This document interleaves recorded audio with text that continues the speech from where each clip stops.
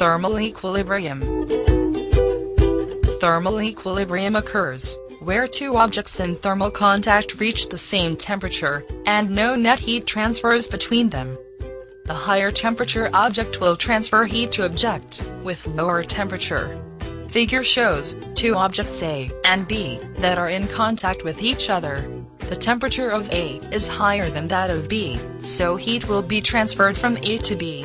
After a while, both the objects A and B will attain the same temperature. When this happens, the rate of heat transfer from A to B will be the same as that from B to A. Objects A and B are then said to be in thermal equilibrium.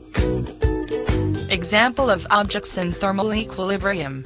Food kept in the freezer compartment of a refrigerator will eventually attain the temperature of the freezer, and thereby be in thermal equilibrium with the freezer. When a clinical thermometer is used to measure the body temperature, the mercury in the thermometer bulb will eventually be in thermal equilibrium with the body. This normally takes about a minute to enable the correct body temperature to be recorded by the thermometer. All electric rice cookers are equipped with a thermostat. When the thermostat is in thermal equilibrium with the heating element of the cooker, the electric current will be turned off automatically to prevent the rice from being overcooked. Thank you for taking time to watch this.